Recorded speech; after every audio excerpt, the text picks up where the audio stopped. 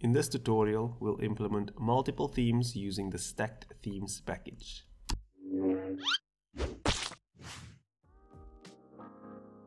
Hey guys, welcome back to the tutorial for multiple theme management. This tutorial will use the latest developed stacked themes package. If you want to follow along, you can download the starting code from the website filledstacks.com.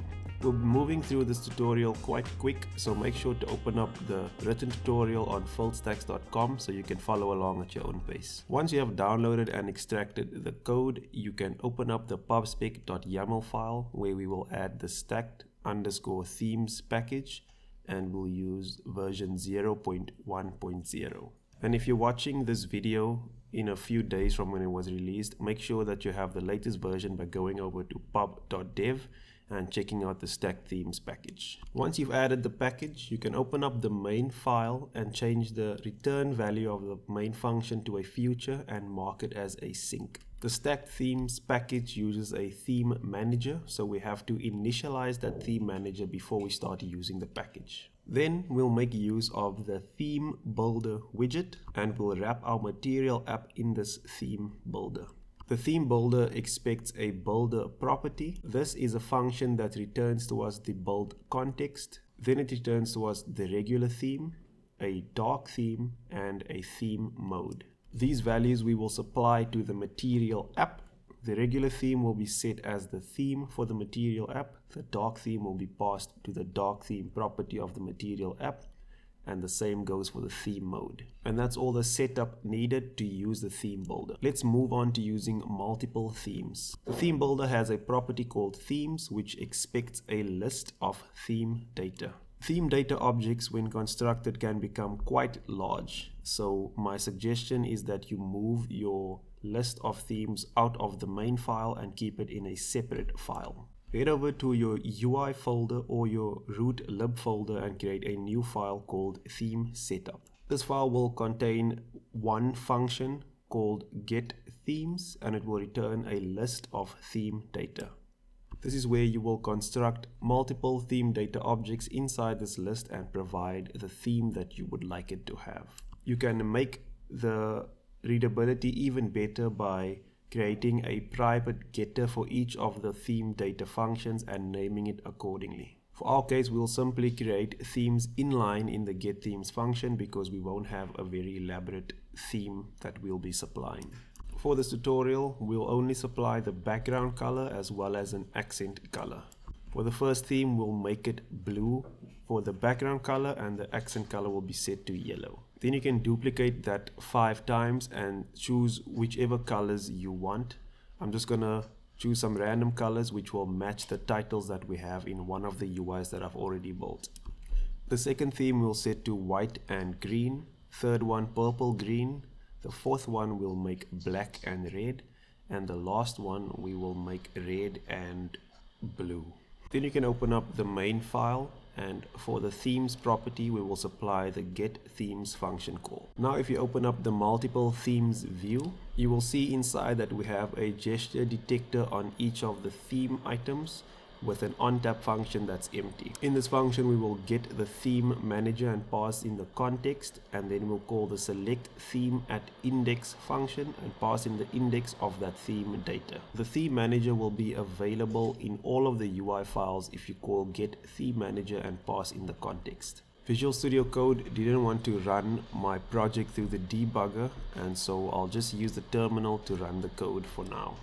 And if you run the app now, you'll see that you have five buttons that you can tap through, which will change the background color. One thing that I wanted to add for this functionality is to change the status bar color as well if you want to change it. To do this, you can supply a function to the status bar color builder, which gives you the theme, and then you can select from that theme which color to return for your status bar color. We will return the accent color of the theme as our status bar color. When you perform a hot reload, you will see that if you tap one of these buttons now, the status bar color will match the theme color that was passed into the accent color value. And to make use of a theme, it works the same as a normal Flutter theme and you call theme.of context which will give you the theme. Then you can use that theme object to set your background color or your accent color depending on what you want to use. Just to give you some more context on what this multiple themes view model looks like, is just a list of theme models, which is a class that has an index and a title. And I just generate five items so that I can show you guys how to swap between different themes. The next thing to tackle is dark and light themes. To use the dark and light theme functionality, the theme builder supplies you with a default theme mode property. This takes in one of three theme modes, light, dark or system. System won't be displayed in this tutorial because I couldn't launch my API 29 emulator. I kept getting a blue screen crash when I tried to. Then for the actual themes, you can supply a dark theme, which takes a theme data object. You have to set your brightness to dark to indicate that it is a dark theme. We'll set the background color to blue 800 and the accent color to yellow 800. Then you can also supply a light theme, which will also be the default theme depending on your system value or whether you've supplied a default theme mode. For the light theme, we'll have to set the brightness to light, the background color to blue 300, and the accent color to yellow 300. Make sure that your home value is set to dark light view. When you run the app now, you will see that it starts up with a light blue background and a light yellow status bar color. Since we can't test the system functionality in this emulator, we'll simply do the dark and light toggle functionality. You can open up the dark light view file and in the gesture detectors on tap you can get the theme manager and then call the toggle dark light theme function. Once you reload the application, if you tap on the text, you will see that the app swaps between a dark and a light theme. The theme manager has built-in persistence using the shared preferences package. So whichever theme you have selected last, the next time you launch the app, it will be the same theme that gets passed down to your material app. The theme manager can be used within any parts of the UI, but if you do want to call this functionality from your view models, which can happen, there is a theme service as well. And to use that theme service, you simply have to register it with your locator as a singleton by calling theme service.getInstance and passing that to your register singleton function. Then you can go to the view model that you'd like to use your theme service in and you can get it from the locator using the theme service type.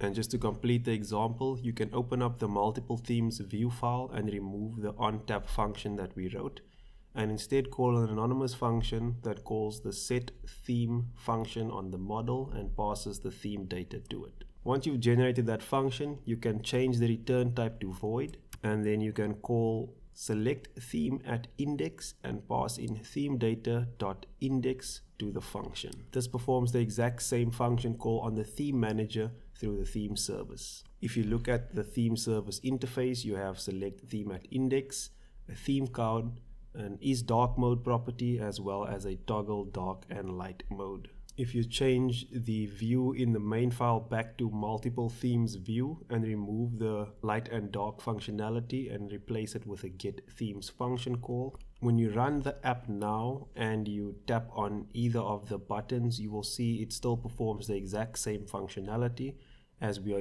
using the theme service instead of the theme manager now. And that is it. I hope you guys enjoyed this tutorial. Please subscribe and like this video and I will see you guys next week.